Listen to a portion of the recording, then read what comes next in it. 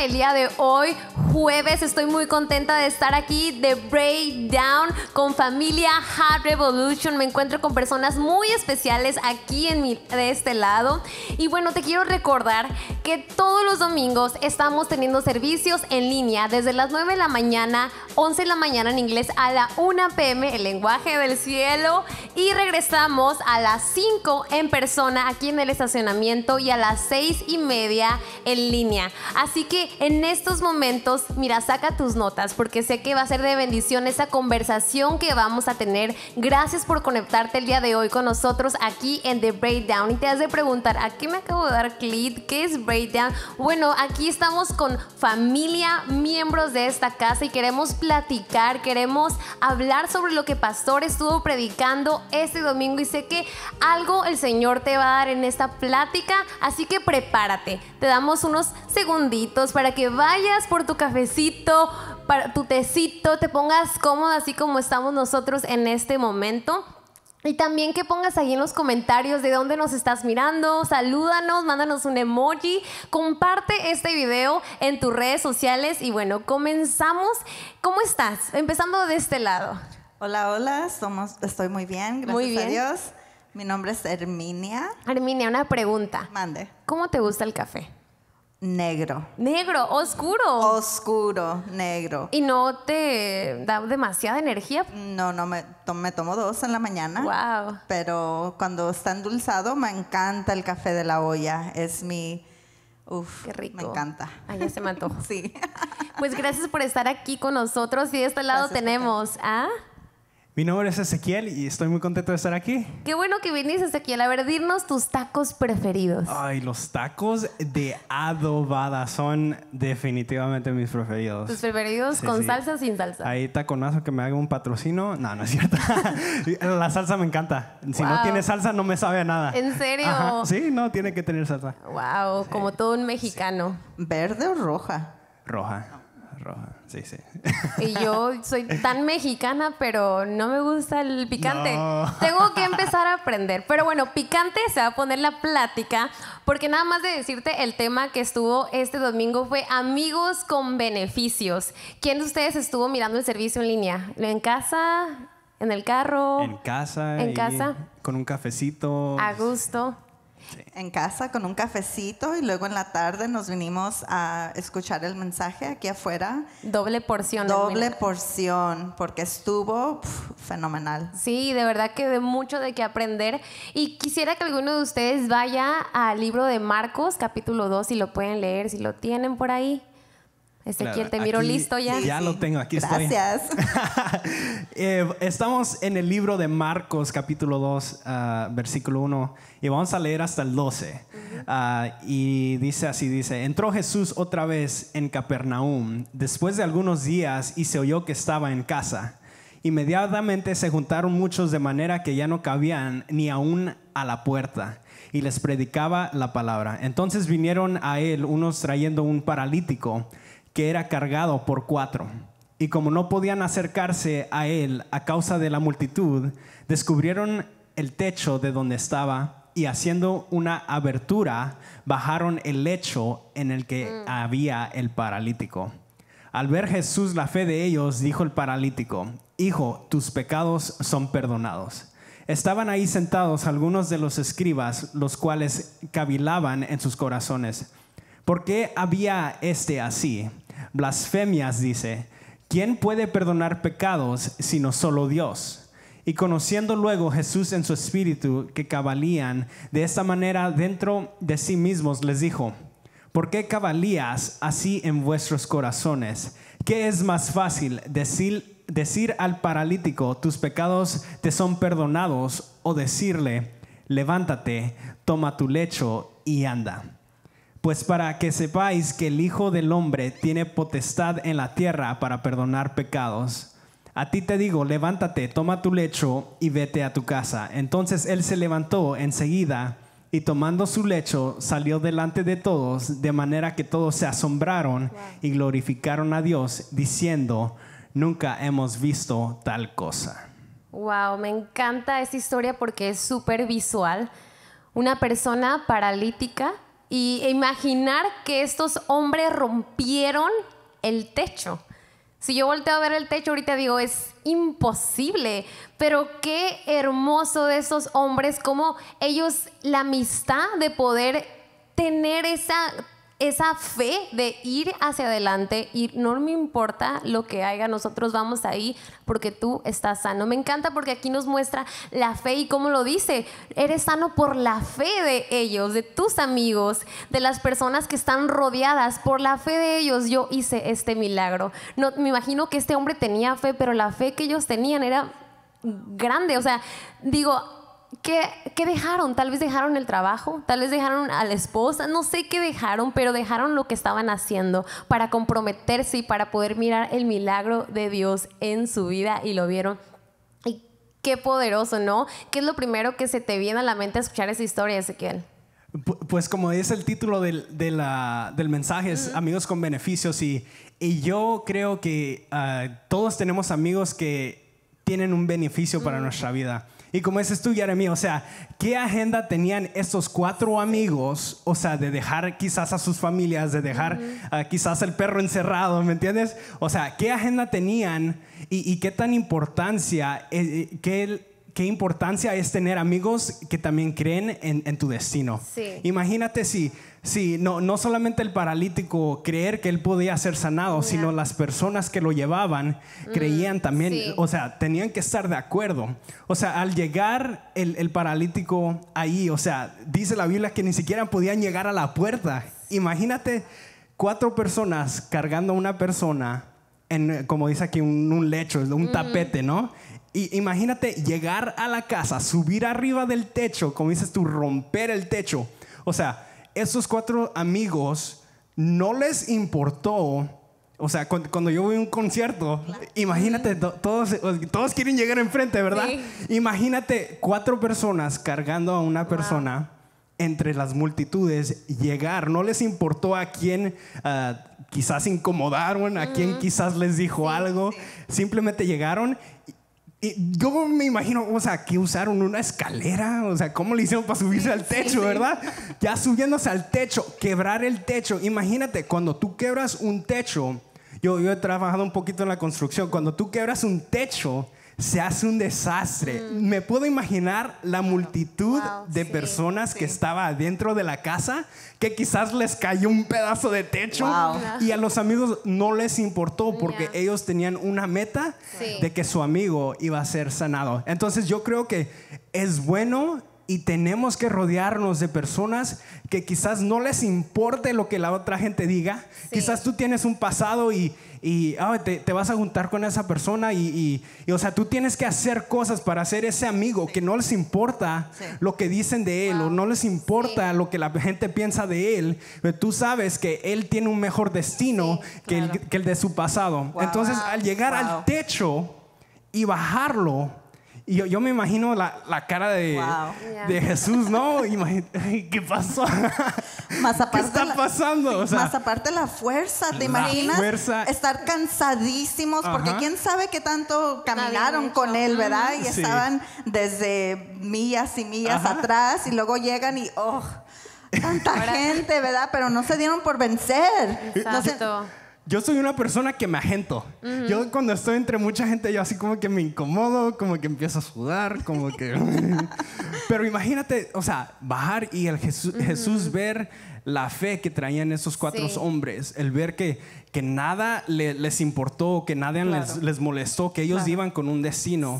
O sea, yo creo que todos necesitamos tener amigos así. Wow, buenísimo. Como ellos se despojaron de, de, lo que tenían, de lo que eran para enfocarse y estar en un solo corazón, en un solo caminar, ¿no?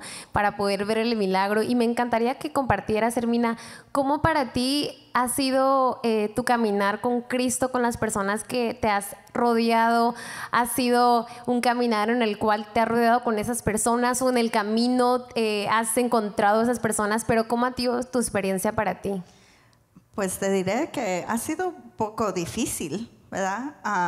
porque mi perspectiva ha sido cambiado cuando empecé a leer y meterme más en la palabra de Dios y, mirar a mi alrededor quiénes eran las amistades con las que estaba caminando y decía, son personas con las que me voy a apoyar, son personas que me van a apoyar, que me van a cargar, o, son personas que, que, simplemente están más interesados en mi pasado y en lo que me pasó y los tengo que dejar en el pasado porque ahí es en donde se quedaron ellos.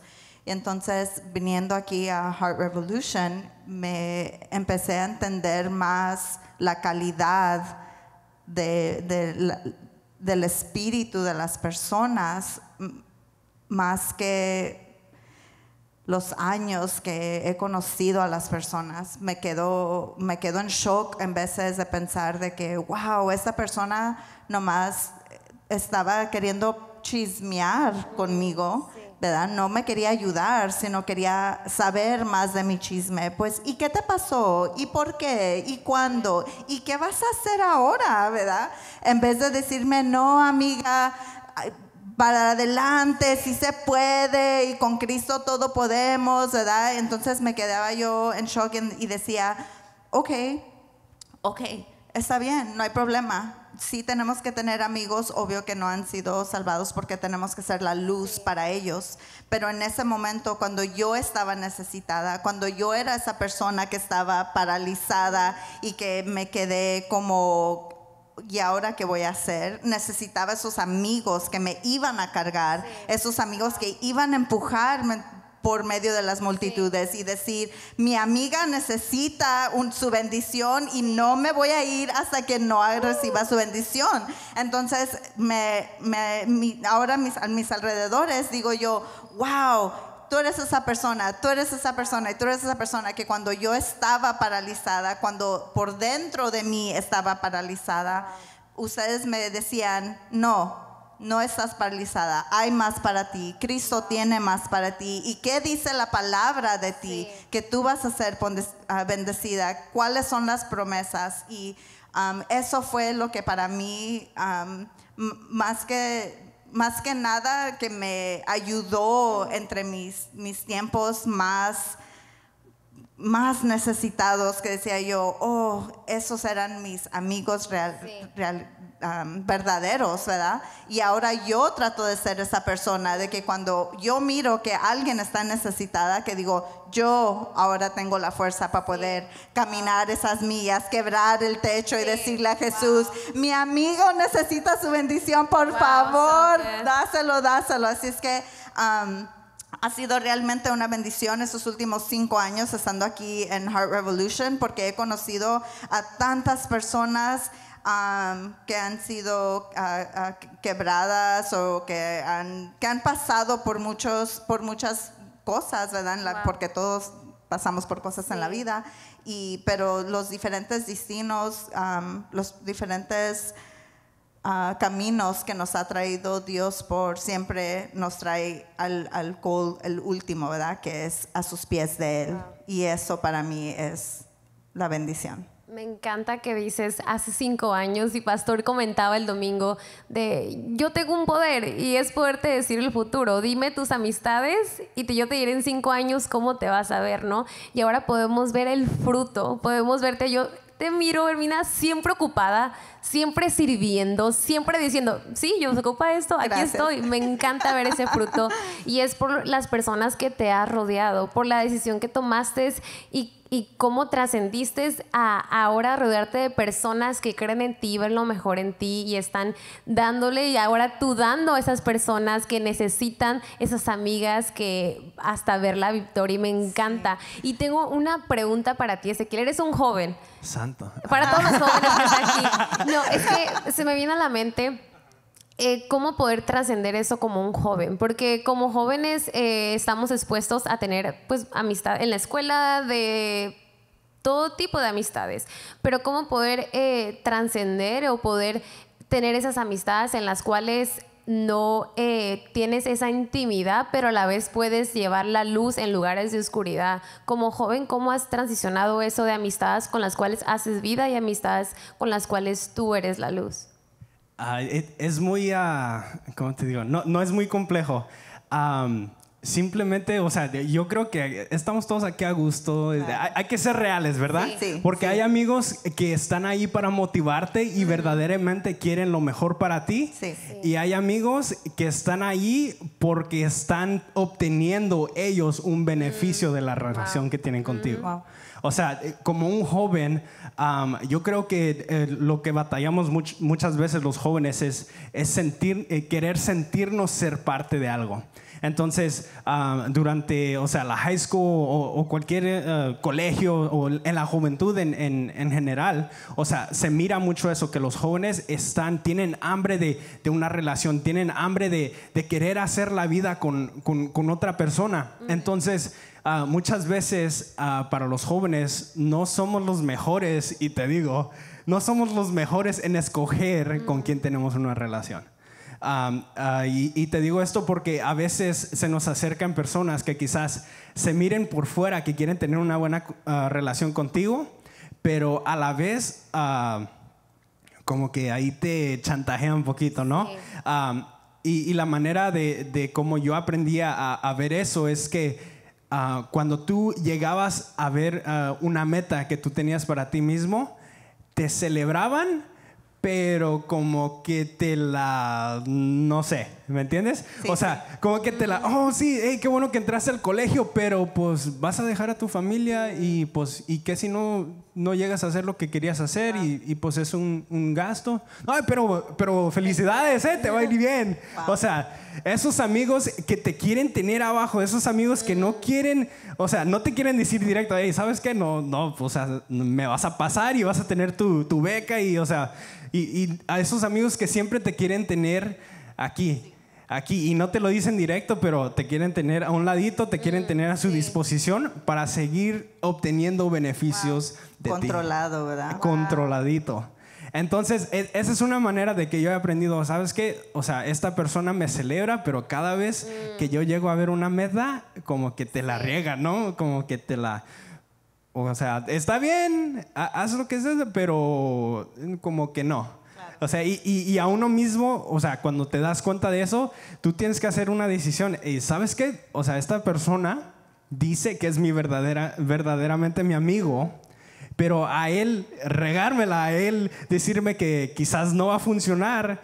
E imagínate, eh, volvemos a la historia, y si estas cuatro personas hubieran llegado a la casa donde estaba Jesús y haber no, pues mira, pues no, no vamos a llegar y pues, o sea, eh, pues llegamos aquí llegamos aquí o, llegaron al frente de la casa y, no, pues para subirnos al techo no hay escalera, no, pues tan siquiera llegaste aquí, pero felicidades, ¿me entiendes? O sea, eh, eh, es, un, es un tema muy importante entre la juventud, saber ah, escoger amigos que verdaderamente quieren lo mejor para ti encanta porque me recuerdas eh, como Pastor nos comentaba que fue una revista que decía 99 maneras en las cuales puedes ver un amigo desleal o un buen amigo, ¿no?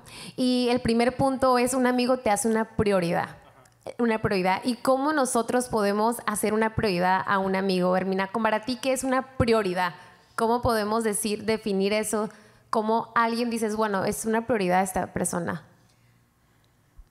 Pues yo creo que sus necesidades emocionales, espirituales, ¿verdad? Porque como estaba diciendo Ezequiel, ¿verdad? Que el espíritu de celos, ¿verdad? Entre los jóvenes que dice, pues, chin, yo pensé que iba a terminar el colegio en cuatro años y ya voy en el sexto y tú lo terminaste en tres y o sea, ¿qué ondas? Y, pero al mismo tiempo reconocer que esa persona a lo mejor todavía no conoce la voz de Cristo o la palabra de Cristo que dice que hay suficiente para todos. No, no, se, le, no se les van a gastar las bendiciones de Dios. No va a decir, híjole, sabes, te voy a dar nomás una bendición a ti y dos a ti, pero y ya no me alcanzó para ti, ¿verdad? Que hay suficiente para todos. Su amor es eternal, siempre hay suficiente y, y, um, aprender a que nuestras amistades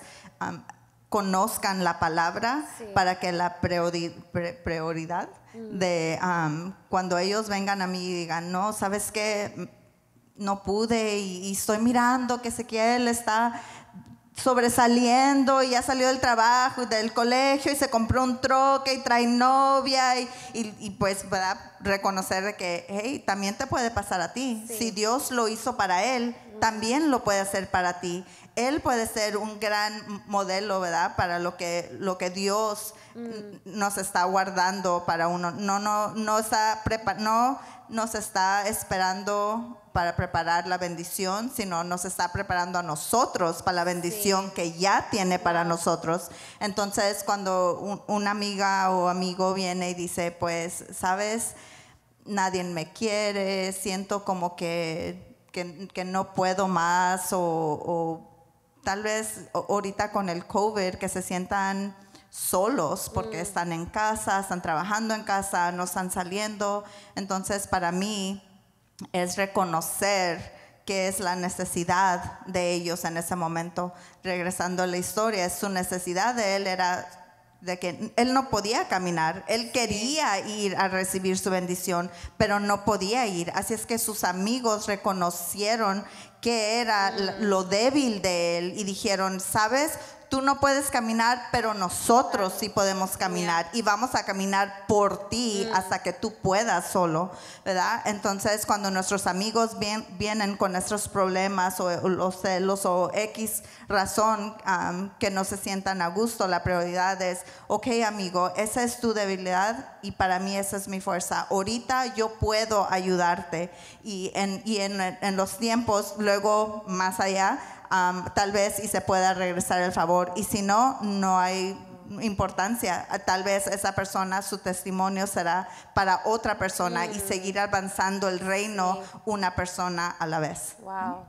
Me encanta lo que estás diciendo porque eh, lo vemos en estos hombres, como mencionábamos al principio, su prioridad fue la necesidad dejaron sus prioridades de ellos, sus necesidades para poner la prioridad y eso lo vemos nosotros, lo hemos aprendido. Nadie nos ha enseñado, yo creo que no hay nadie que nos enseñe mejor cómo ser un amigo que Jesucristo. Amén. Jesucristo nos enseña que es un verdadero amigo, ¿no? Y cómo nosotros podemos modelar eso, ¿no? Y eso me lleva al segundo punto que es, un amigo te anima. Pero no creo que un amigo te anima solo con palabras, sino con como lo hizo Jesús. Jesús no solo no habló, o sea, él lo hizo. Él vino, él murió en esa cruz por cada uno de nosotros para que pudiéramos estar aquí en este momento y cómo, eh, como nosotros como líderes, como nosotros como joven, como madre, tú puedes animar a las personas y tú puedes depositar vida. ¿Cómo se ve para ti, Ezequiel, eso? Para mí, como dices, el, estar ahí para alguien, no simplemente echarle porras, ¿me entiendes? Ah, yo creo que para mí ah, el estar ahí ah, por alguien tiene que ir más allá de las palabras, como dices tú. quizás marcándole a una persona, o sea, hey, ¿cómo estás? ¿Cómo te ha ido? No simplemente estar ahí cuando la persona está, o sea, ya por, o sea, morirse, ¿me entiendes? Es, es como hacerlas prioridad no solamente cuando están lo más necesitado. Y un pensamiento que me gustó del pastor Abe es, eh, otra vez volviendo al, tema de los celos, es eh, tener celos es decir que Dios no tiene las suficientes bendiciones para dárselas a todas. Mm. Y es pensar y anhelar que no se las dé a alguien más para obtenerlas tú. Y o sea, al volver a, tu pregunta, es, esa con el tema del celos, muchas veces se, nos olvida, muchas veces es, es, como algo carnal, hasta se podría decir que, que para estar ahí para alguien, o sea, también yo tengo que hacer mi prioridad a esa persona cuando me necesita. Y, no poner mis ah, anhelos ni mis deseos antes que esa persona y verdaderamente estar ahí cuando esa persona te necesita. Las acciones valen más que las palabras, ¿verdad? Y, entonces, a mí me gusta mucho el, el, tema de, de, estar realmente ahí por alguien, porque ah, yo también pasé por unas situaciones donde yo me sentía solo. Y ahora, eh, en vez de, de, ¿cómo se dice?, quedarme ahí en ese ciclo de pues nadie me ayudó, pues nadie me, me echó la mano, pues nadie me, me animó. Ahora yo puedo tomar eso y en vez de quedarme allí en ese hoyo, en ese círculo de, de oh, pues nadie me ayudó, yo, yo sé y yo he aprendido que sabes qué, o, que esa persona me necesita, yo sé lo que se siente no tener a nadie, entonces sabes qué, le voy a marcar. Oye, yo sé que esta persona no, no ha pedido ayuda, porque mucha gente que, que está pasando por algo, es, la última cosa que quieres, es que todos sepan tu chisme. El orgullo también no te deja. Y, el orgullo, claro. Y, y la, la, última cosa que tú quieres es que todos sepan lo que está pasando en tu vida, que todos sepan que, que tienes problemas, que todos sepan que tu relación no está funcionando, que todos sepan que quizás te vas a quedar en bancarrota. Pero, o sea, tomar esa iniciativa de, ¿sabes qué? Yo sé que él está pasando por algo. Y quizás no, no sepas porque la persona te dice, sino porque el Espíritu Santo te dice. Y entonces es hablar, hey, vamos por un café. Hey, ¿cómo estás? Hey, ¿cómo te va el trabajo? Hey, ¿cómo van tus finanzas? Okay. Eh, eh, ¿Cómo se dice? La, contabilidad, así se dice. La contabilidad de un amigo, eh, o sea, ese es, ese es oro. Pues como decía Pastor, ¿verdad? Que um, no le tenemos que decir a todo el mundo todos nuestros problemas, pero sí hay que decirle a una persona que, que sepa todo, lo feo, lo bonito, lo malo, lo bueno, para que cuando en tus tiempos, cuando estás en esos tiempos, como dices tú, que te sientas que te estás cayendo ese hoyo, que ellos sepan, sabes que reconozcan esos síntomas de ti, que digan, oh, le necesito hablar, no, no, no nos ha hablado, ¿verdad? Y continuarnos a, a nuestros alrededores, a las amistades que van a seguir jalándonos y ayudándonos y, y, a la misma vez tener los líderes que con accountability, que sigan, ¿verdad? Y oye líder, sabes, estoy pasando por esto ahorita y siempre van a tener esa palabra para ti o, ayudarte en, en, esos momentos, porque si realmente, si no tenemos a esas personas, es fácil caer solo, mm. pero cuando somos dos, cuando somos tres, cuando somos cuatro, nos podemos cargar uno a los otros, ¿verdad? y romper el techo. Sí, y, otra cosa que, quisiera agregar es que también tiene mucho que ver los amigos que tenemos, quizás, o sea, como dices, te, echan porras y están ahí para ti, pero también es importante tener amigos que también te, desafíen. Mm. Porque el momento en que tú caigas en una zona, en un lugar de confort, o sea, ahí quedaste. Entonces es importante, o sea, tener amigos que te desafíen a crecer, a, buscar más a Dios, a, meterte más a la palabra. Y algo que yo escribí en mis notas es que los amigos no son a los que puedes correr, sino a los que pueden correr contigo. Y eso es muy importante porque, como dije, la zona de confort, o sea, yo creo que todos tenemos una zona de confort donde llegamos al servicio y nos sentamos a ver atrás y no hablamos con nadie y nadie sabe de mis problemas y, y estamos bien. Pero, o sea, tener una persona que, que, como dices tú, que sepa todo y, que te diga, hey, ¿sabes qué? ¿Cómo estás? Ok. Y, no simplemente te diga, ay, pobrecito, ¿me entiendes? Como decía el pastor Abe con su hija, ¿no? Ajá, yo, yo, yo. Ajá, exacto. como le dicen un pity party, no sé cómo se dice en inglés. O sea, no simplemente ir con alguien que, ay, pobrecito, y, o sea, ay, y, ahora, pues mira que me pasó esto, y, eh, pues ahí se está, ¿no? Pa, para un lado y para el otro, pero simplemente tener a alguien que te diga, ¿sabes qué? Ah, yo sé que estás pasando por esto, yo sé lo que se siente, pero vamos para adelante. Y ahí mismo entra también lo, lo que seguimos hablando, lo del celos, que alguien quizás se pueda sentir que te está motivando, pero verdaderamente nomás te está, ay, sí, todo va a estar bien. Y, y sabes que, como dice el, el, pastor Abe, estaba hablando de su hija Lux cuando entró a la tierra, y, y, ay, me va a doler y me va a doler. Y o sea, el, el pastor dice, ¿sabes qué? Te vas a meter a la tierra porque te vas a meter a la tierra y vas a aprender que no duele. Mm. O sea, así también nosotros necesitamos amigos que nos, que nos desafíen. Porque si no nos desafían, no, nos estancamos. Es como, como el agua estancada, o sea, no huele bien. Sí, no. Sí. Y que corran contigo, como estabas diciendo en tus notas, que, que, que puedan decir, ¿sabes qué, Ezequiel? No sé la respuesta pero hay que encontrarla juntos. Mm. No sé cómo vamos a salir de esta, pero juntos lo vamos a hacer.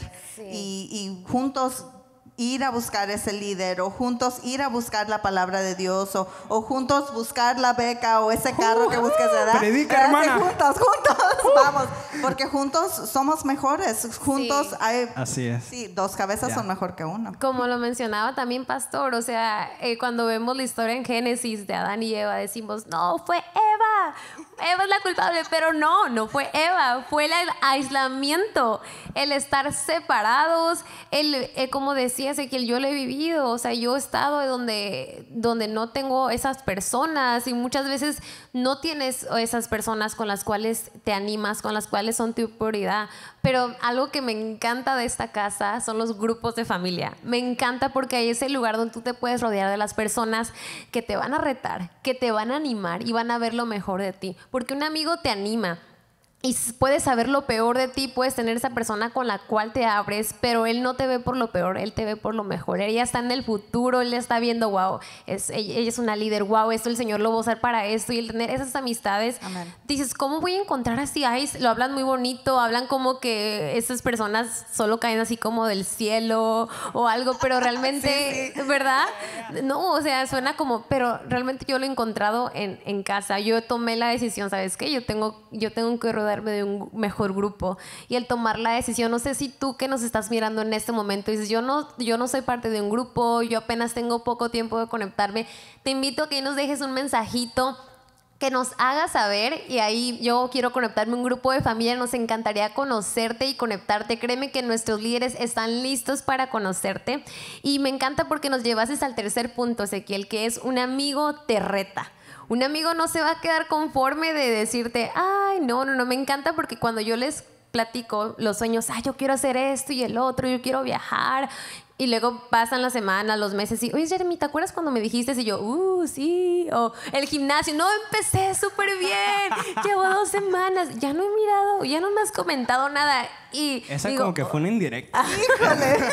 Pero sí, me encanta porque me siento comprometida, digo, wow, o sea, sí cierto, tienes razón, o sea, ustedes eh, tienen tienes esa amistad, así que el que te reta, que te dice, wow, ok, vamos a romper, ok, vamos a hacer esto, tienes alguien con el cual... Eh? Eh, sí, de hecho tengo un par de amigos que, como estamos hablando un poquito antes desde la prepa, un poquito antes de la prepa en menos ya, ya nosotros eran, nos conocían como los tres mosqueteros, ¿no?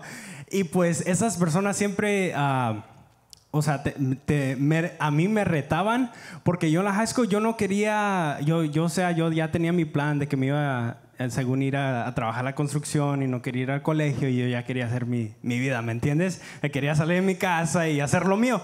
Y entonces, al tener amigos así, Ah, cuando llegó el tiempo de aplicar para los colegios, me decían, oye, y, ya me aceptaron acá, y ya metí aplicación acá, y voy a agarrar esta beca, y, y ojalá tengo que ir a este evento para que me den esta otra beca. Y, me decían, ¿Y, ¿y, qué vas a hacer tú? Y yo me quedaba así, no, pues, o sea, pues graduarme y pues casual, hacer dinero y, pues a ver cómo me va. Y o sea, al tener amigos que te hey, pues sabes que, y, y, no solo al tener amigos y que ellos tengan su meta, pero yo, o sea, ver y no solamente creer en lo que ellos pueden hacer, sino creer en mí mismo. Y, o sea, e, eso te motiva, te impulsa. ¿Sabes qué? pues quizás no tenía el interés la semana pasada, pero esta semana como que siento que voy a meter esta aplicación. Como que siento como que Dios me está llamando a hacer este plan.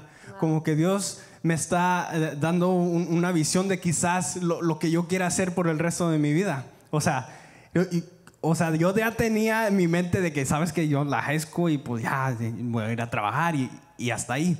Pero ver a mis amigos que con becas, que irse a universidades de las más conocidas, o sea, eso te impulsa, eso te, te lleva a, otro nivel, no solamente ah, en, lo físico, pero eh, también en la mente. O sea, tener amigos que te digan, ¿sabes qué? Tú puedes Sabes que si yo lo puedo hacer, tú lo puedes hacer. No importa por lo cual has pasado, no importa tus calificaciones, no importa cualquier situación que está pasando en tu casa, tú puedes. Wow. ¿Quieres agregar algo, Hermina?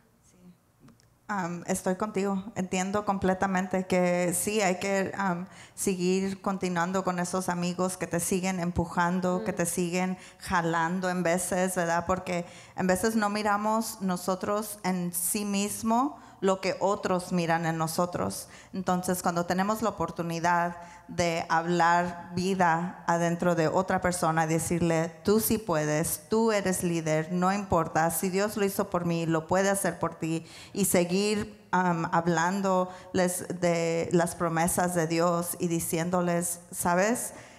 Yo sé que tú solo querías hacer construcción, pero Dios te llamó para vivir una vida de abundancia. Entonces, esos son los amigos con los que quieres seguir jalando y que quieres seguir que te jalen y que te retan, ¿verdad? Que te digan, sabes, Ezequiel, yo sé que la construcción es un súper buen trabajo, pero te conozco y yo sé, y tus sueños, uff, tus sueños de, tu casa y realizar que cuando te cases y, tus hijos y, tener una vida mejor, hay que seguir retando también nosotros a nuestros amigos para decirles, tú puedes más, Dios quiere más para ti y, poder tener, ser el apoyo que necesitan cuando te necesitan. En veces uno dice, ay, pero solo trabajo en finanzas, ¿qué, tanto les puedo decir que ellos no, ya no sepan? Pero cuando en realmente te sientas al cafecito o, en, en los grupos de vida, ¿verdad? Que digas, oh, a mí nadie nunca, nunca habló conmigo sobre el crédito, a mí nadie nunca habló conmigo sobre los, que los intereses, si quiero comprar una casa, es, puede ser así en un credit union o así en, en, en otro banco. Entonces es cuando empiezas a decir, wow, estos sí son mis amigos que quieren más para mí, que no tienen los celos, sino que dicen, sabes, mi... lo fuerte, el, regalo que Dios me dio para mí de las finanzas, ahora te los puedo decir a ti y, y, así te puedo mejorar tu vida y luego tú vas a decir, pues sabes qué, a mí Dios me bendició con, con, con X, Y y Y y entonces, entonces tu grupo va subiendo más mm, y más y más para arriba, ¿verdad? Juntos. claro, porque esas amistades realmente te aman y no se van a conformar con verte simplemente Hermina, simplemente Ezequiel, sino ver la mejor versión de ti, así como Dios con nosotros. Él no se conforma, Él los ve y cada día Él quiere hacer algo nuevo con nosotros, pero también depende de nosotros si queremos. Depende como Ezequiel dice, o sea, yo me expuse mis sueños, yo tomé la decisión de contarles eso era y me expuse quién era y ellos vieron la mejor versión de mí. Y como dijo Pastor, ¿verdad? Nos pueden estar llamando, llamando, llamando, pero si no recogemos ese llamado, sí. pues entonces, entonces necesitamos esos amigos que digan, oye, está sonando tu teléfono, recógelo. Y no, de verdad. Y sabes, en este momento yo siento que, que tal vez alguien se sienta así. Tal vez tú estás mirándonos ahorita y dices, wow, ok, me están hablando, he sentido, he estado orando por amistades nuevas. Créeme que no es coincidencia. Sé que el Señor, sé que Dios está trabajando y está aquí. Tienes una familia que te ama, una familia que está lista para recibirte con brazos abiertos. Y quisiera finalizar con, con algún punto, algo que les gustaría cerrar vayan a heartrevchurch.com y métanse a un grupo de familia, porque es un, un, um, un step, un paso, un paso súper, súper difícil, pero súper fácil. Mm. Uno siempre dice, no, pero pues, ¿cómo voy a entrar a la casa de personas que no conozco? ¿Cómo voy a ¿Cómo les voy a decir mis problemas si ellos no saben? Ellos no han pasado por lo que yo pasé. Pero yo pienso que lo, lo mejor que yo pude haber hecho es recoger ese teléfono, meterme al internet y decir, yo quiero ser parte de un grupo de familia mm. y abrir mi corazón. Allí encontré amigas que me ayudaron, que me hicieron sentir que yo no estaba sola. Y en ese momento dije yo, oh, yo no soy la única que está pasando por esto. Hay muchos más. Y que miró un potencial en mí y ahora yo soy líder de grupo de familia. Y dije, yo nunca me... Si me hubieras preguntado eso hace cinco años, hubiera dicho, ah, no, yo no. estoy muy quebrada, he hecho muchas cosas en mi pasado, han pasado muchas cosas en mi vida no, ¿cómo, puedo ser yo líder, verdad? Pero ellos me dieron amor, me abrieron su casa y, me ayudaron a que me sanara por dentro, por fuera. Y, encontrar esas amistades adentro de la iglesia y afuera de la iglesia, porque aquí somos familia, no nomás es, oh sí, sabes, te voy a tomar el cafecito aquí en Home Coffee y te, te, lo picho y nos miramos el otro domingo, adiós. No, es de que nos hablamos el miércoles, nos hablamos el jueves, que te gustó el servicio, que, te estaba hablando el Espíritu Santo por, por medio del servicio y eso, ¿verdad? Entonces, a todos los que están ahí afuera, les quiero darles a ustedes la meta de la red el goal de decirles, go to heartrevchurch.com y apúntense a un grupo de familia, porque los líderes, todos estamos um, listos para, para aceptarlos. Y ahorita por COVID no nos podemos mirar en casa, pero de todos modos agarramos nuestro cafecito, nuestro panecito y nos metemos por Zoom y ahí nos miramos y hacemos todo lo posible para poder... Mirarnos en los servicios de la tarde.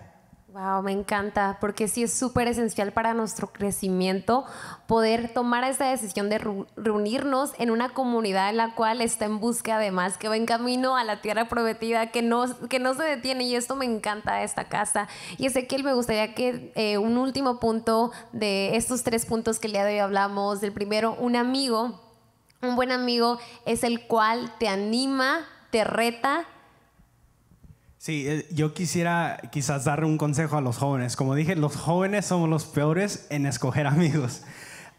si tú tienes a un amigo que sigue trayendo tu pasado, que te lo sigue, uh, ¿cómo se dice? O sea, queriéndote aventártelo en la cara, hazles el favor, si ellos están tan obsesionados con tu pasado, como dijo Pastor Abe, déjalos en el pasado. Hazles el favor, si tanto les importa tu mm. pasado, déjalos en tu pasado. Y o sea, yo, yo creo que al, al tú dejar esa persona en el pasado, no, no, no te estoy diciendo nunca le vuelvas a hablar. Eh, yo creo que hay, una línea muy distinta. No te estoy diciendo no tengas una relación con esa persona, no, nunca le vuelvas a hablar, porque tú no sabes lo que por la, por la situación cual esa persona esté pasando. Lo que te estoy diciendo es dale prioridad a la gente que tiene el mejor interés para tu vida.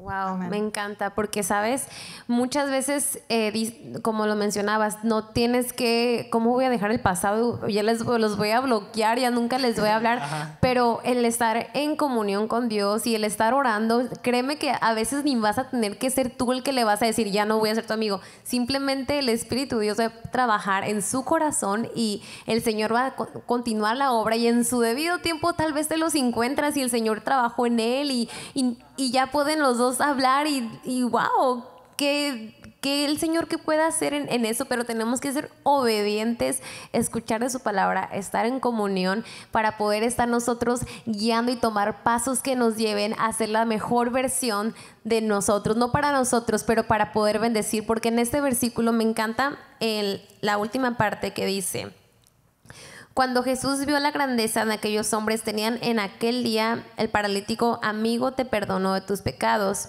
Y luego dice en el 11, ¿dónde está? Levántate, toma tu camilla y vete a tu casa. En ese mismo instante y ante la mirada de todos, aquel hombre se levantó con la camilla y salió de allí. Al verlos, todos se quedaron admirados y comenzaron a alabar a Dios. Y esa última parte de se quedaron asombrados y comenzaron a alabar a Dios. Me encanta porque es así como el Señor se va a glorificar con nuestras amistades la gente va a poder ver que nosotros somos personas genuinas, que tenemos relaciones reales y no simplemente para beneficiarnos a nosotros, pero para que la gente pueda mirar eso a través de nosotros, ellos puedan levantar sus manos y glorificar a Dios, porque no, no se trata de nosotros, sino se trata de Él. Y de verdad que fue de mucha bendición poder estar aquí platicando con ustedes de este tema tan importante, las amistades, como decía, los jóvenes, amistades aquí en casa, fuera de casa, es súper esencial para nuestro crecimiento y te damos las gracias por conectarte este día con nosotros. Aquí estaremos todos los jueves esperándote para seguir platicando más de todo lo que se habla los domingos. Nos encanta hacer vida contigo y te quiero recordar, este domingo estaremos aquí a las 5 de la tarde y tenemos Home Coffee que está riquísimo para seguir creciendo en comunidad. Invítale el café a una amiga, a un amigo y nos estamos mirando. Que tengan una bonita noche, compartan este video y bendiciones.